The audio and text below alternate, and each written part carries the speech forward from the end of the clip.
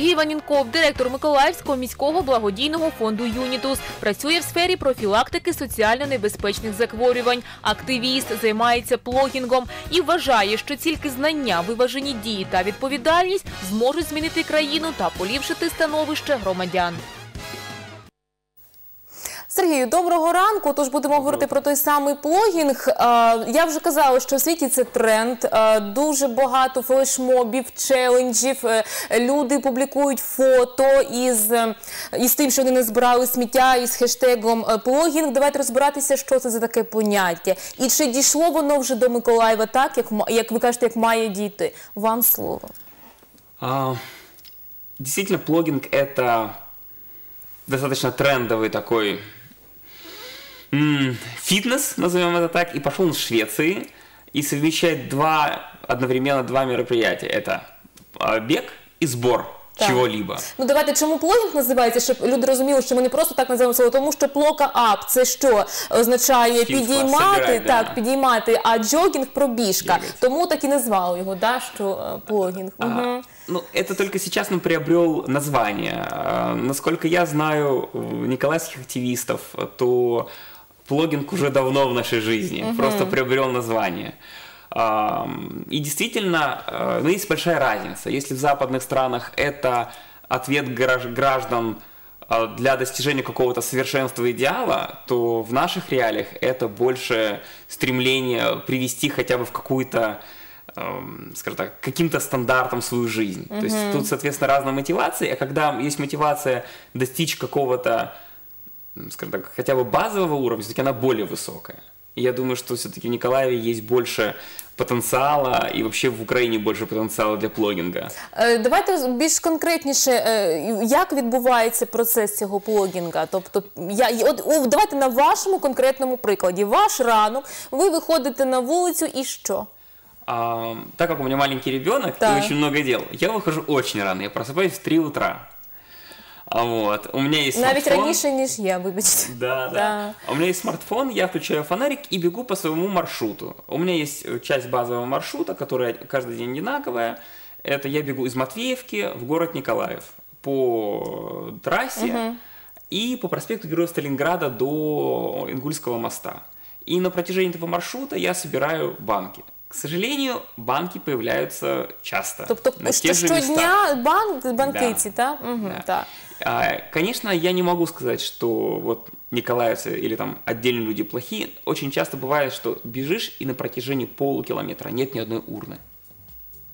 Например, на проспекте Героев Украины а, между, если не ошибаюсь, э, Мельничной и э, Школьной нет ни одной урны. Так, на То жаль, есть, на и это ужасно. Соответственно, там больше количество мусора. Почему нет? Вопрос, наверное, городским властям. И это, ну, это не способствует чистоте в городе. Иногда меняю маршруты, иногда добегаю до Луначарского кольца. Тоже очень большое количество банок, другого мусора. Но я сконцентрировался на сборе алюминиевых банок, потому что их легко а, Спрессовать да. да? У меня небольшой рюкзак, пакет в, рюкзак, в рюкзаке, а я складываю банки туда. Плюс дезинфицирующее средство для рук. Скільки ви вже назбирали сміття і що далі з ним робити? Як ви його утилізуєте? Ну так, скільки ви О, зібрали? Тому що ви вже не один день. Много. Багато. М- Много, много, много. А Последнее, что я... Я всегда стараюсь мусор, который я собираю, отдавать на переработку. Потому что выкинуть в урну это бессмысленно. Он пойдет на свалку, и он будет загрязнять нашу... І ви знову може підіймете ту ж саму банку, яку вчора Конечно, підняли. Конечно. Так. Угу. А последний я с- э, сдал на переработку 25, пе- 25 килограмм алюминиевых банок. Это примерно 1882 банки. Они бывают разных размеров. Да. Каждая банка от 10 грамм до 20 грамм. То есть вы поймете, 25 Да. килограмм это, это немало. Це, це колосальні цифри. Е, Як стати блогером? Е, Що, що треба мати? Я так розумію, що сміттєвий е, мішок, який з собою взагалі, от ваші поради і рекомендації. Ам, гла- Мое главное м, совет – это плugин должен быть комфортен для вас. С мешком бегать не очень комфортно, потому что, мешок может разорваться, потому что мусор чаще всего имеет острые края.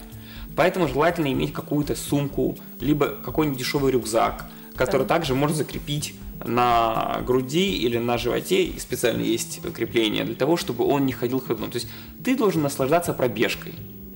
А сбор мусора это уже как бы дополнение. Почему? Потому что чем дальше ты пробежишь, тем больше мусора ты найдешь. И это в какой-то степени даже мотивирует.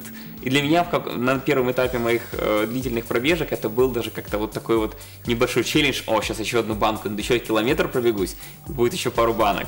И, в принципе, в среднем так оно и Ну, получается. тому що як це відбувається? Пробіг трішки, зупинився, пробіг, Да, зупинився, да. тому що сміття ж багато, так? И начинаешь замечать даже больше, чем э, больше, чем раньше замечал, потому что ты уже начинаешь быть заточенным, что ты хочешь убрать эти банки. Например, очень часто много банок возле э, каких-то общественных мест. И ты понимаешь, что этот, на самом деле алюминий это очень такой интересный а, вид мусора. Оксиды алюминия достаточно токсичны. Так. И когда эта банка лежит, или, например, лежит на проезжей части, проезжают машины, они ее и стирают, как на наждаке. И, соответственно, все эти мельчайшие частицы мы дышим этим.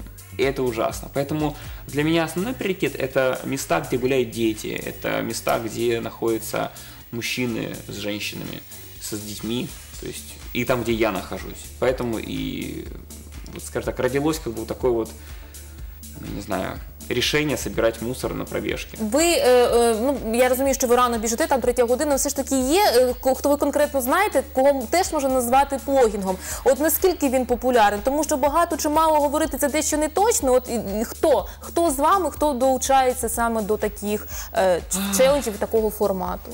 К сожалению, на данный момент э, я не знаю других ребят. Это не потому, что их нет, они есть, я уверен. Да. И, может быть, просто они называют себя по-другому. И, возможно, они это делают в другом деле, в другом формате. А, самое основное, что я знаю, что есть очень много ребят в Николаеве и организаций, ребят, которые которых очень беспокоит проблема мусора, которые выходят в субботу, воскресенье, которые убирают кучу мусора. Так, доволі И часто. это- Ми и это анонсуємо очень так. благородно. Это очень благородно с их стороны. А, но почему? Я знаю, я знаю, что еще, наверное, где-то года 3-4 назад а, совместно с моими друзьями мы выходили убирать пляжи, но я не помню, чтобы а, на уровне мэрии или депут- депут- депутатского корпуса поднимались какие-то вопросы, которые бы улучшили ситуацию с мусором.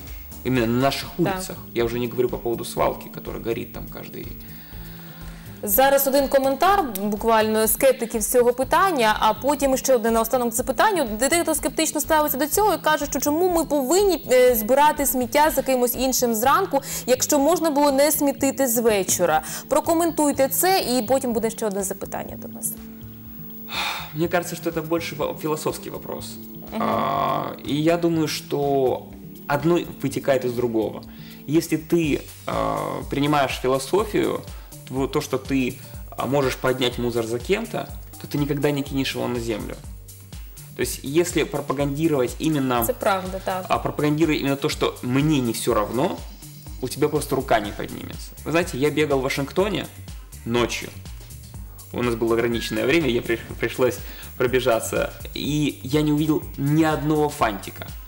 В Вашингтоне люди со всего мира. Это туристический центр.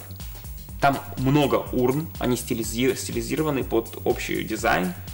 Ни одного кусочка мусора я не увидел. Ни, од- ну как такое может быть? Ну скажите, пожалуйста. Коротенько, наостанок, у нас так буде чи ні? Тому що 70% успішності у Швеції саме оцей тренд плогінг е, здобув, тому що сміття ми там не бачимо. У нас в Україні, в Миколаєві, коротенько. Ми будемо як буде як у Мы- Вашингтоні У нас чи ні? будет как в Вашингтоне, будет как в Швеции только тогда, когда каждый гражданин, каждый горожанин скажет государ... нашей, как бы, нашей мэрии, нашим депутатам, это для нас важно. Решайте, или мы вас не будем выбирать. Мы будем выбирать людей, которые заботятся о качестве и о стандартах жизни в Ви городе. думаєте, цього буде достатньо просто Да. сказати, і вони нас почують? Е- Если сказать и сделать, не голосовать за тех, за тех э, депутатов или, э, скажем так, э, скажем так, отстаивать свои интересы у чиновников и говорить, что это важно для нас, я думаю, это будет. Но просто это нужно делать Да, это- каждый день. Давайте не політикою завершимо, все ж таки чистотою життя без сміття, як так би назвала нашу розмову. Дякую вам, Сергій Ванінков, плогер. З- Можна вас так називати? Займається Пожалуйста. плогінгом у нас в місті Миколаєві. Хочу подякувати вам.